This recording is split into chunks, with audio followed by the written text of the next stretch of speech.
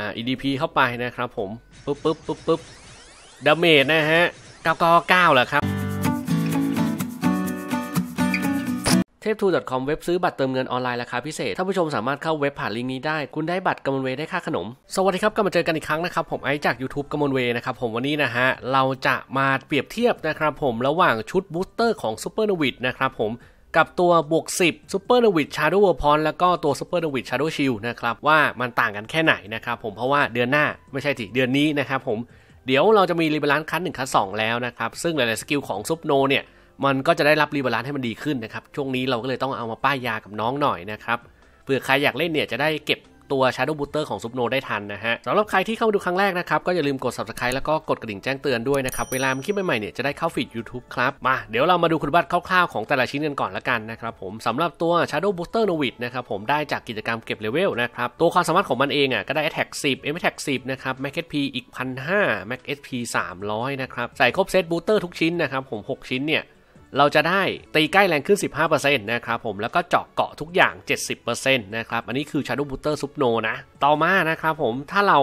มาไม่ทันกิจนะครับผมคุณก็จะได้ของนี้นะครับผมก็คือนี่ครับผมตัวมือซุปโนนะครับผมแล้วก็โล่ซุปโนนะครับผมฟากมือซุปโนเนี่ยจะได้ Max HP 1000 Max HP 200นะครับ ทุกๆ upgrade Sword Mastery เนี่ย ก็คือ skill ของช่วงคัสหนึ่งของเราเนี่ย อันนี้เนี่ยครับ จะได้เจาะเกราะ ศัตรูทั่วไป 3%นะครับ ซึ่งตรงนี้ไม่เจาะบอสนะ เจาะแต่มอนธรรมดานะครับ แล้วถ้าอัพ SP Recovery ก็เจาะเวทนะครับผม แต่เราไม่ได้เกี่ยวกับตรงนั้นอยู่แล้ว เรากายภาพล้วนนะฮะ และทุกๆเหนือเกตนะครับผม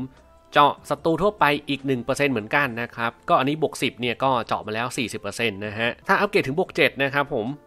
ได้ Max HP เพิ่มขึ้น อัปเกรดบวก9 Max HP เพิ่มขึ้นอีกนะครับ อ่า นี่คือมือนะครับผม ต่อมาคือฝั่งโล่นะครับ ฝั่งโล่เนี่ยได้ Max HP Max HP เหมือนกัน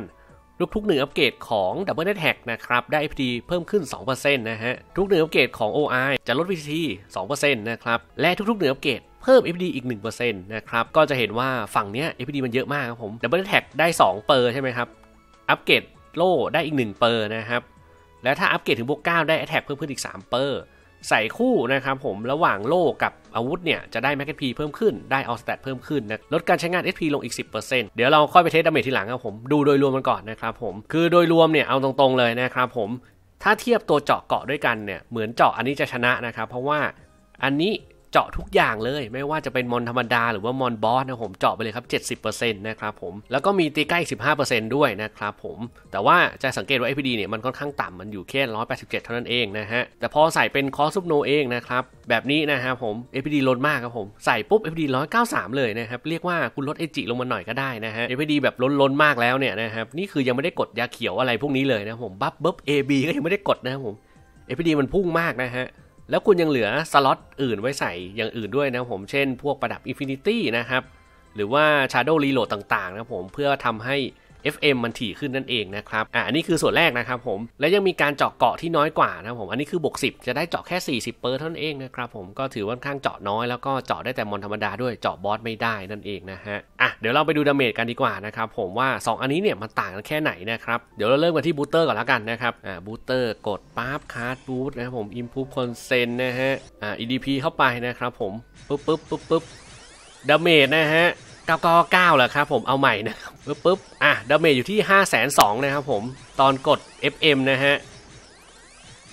นี่ประมาณ 5 2 0 0 0 5 0 0 0นะครับผมสำหรับคอร์ส Booster Super Novice นะฮะต่อมานะครับผมใส่แค่มือกับโล่ซุปโนนะฮะแล้วก็ buff เหมือนเดิมเลยนะครับจึ๊บจึ๊บจึ๊บจึ๊บdamage นะครับผมอยู่ที่ประมาณ 4 5 0 0 0นะครับ ก็หายไปประมาณสัก 60,000นะครับผม ก็ถือว่าค่อนข้างหายเยอะอยู่นะฮะสำหรับตัวคอร์สโล่มือซุปโนอันนี้นะครับ โอเคนะครับผมเท่าที่เห็นนี่ก็สรุปได้เลยว่า Shadow Booster ซุปโนมันดีมากนะครับผมใครที่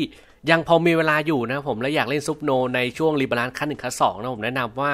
ไปหา Shadow Booster ของซุปโนมาใส่นะครับผมคุณจะได้แรงขึ้นอีกนะฮะแต่ว่าถ้าใครอยากเล่นซุปโนสายปาโล่นะผมคุณควรหา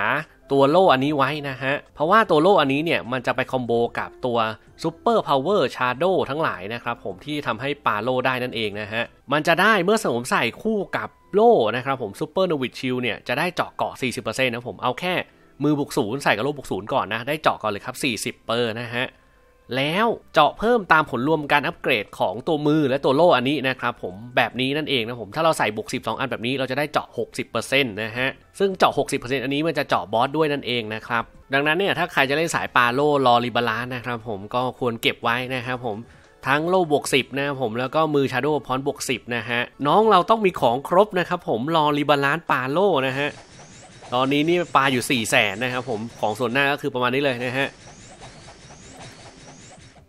นั่นแหละครับสำหรับใครที่อยากจะเล่นน้องซุปโนนะครับผมของมันต้องมีนะฮะเอามาให้ครบนะครับผม Shadow Booster ในกิจนะครับผมเก็บให้เรียบนะครับ แล้วก็ Shadow Super Power นะครับผมเก็บมาให้ครบนะครับผมแล้วก็เอาโล่มาด้วยนะฮะ เราจะได้ปลาเจาะเกาะได้แบบ 60%นั่นเองนะผมอีก 40 เดี๋ยวไปหาเอาข้างหน้านะฮะ อะโอเคนะครับผมสรุปกันคลิปนี้กันก่อนนะครับผมก็คือเอาจริงๆแล้วอะ Shadow Booster Super n o v i d ค่อนข้างเก่งนะครับผมแล้วก็ดีด้วย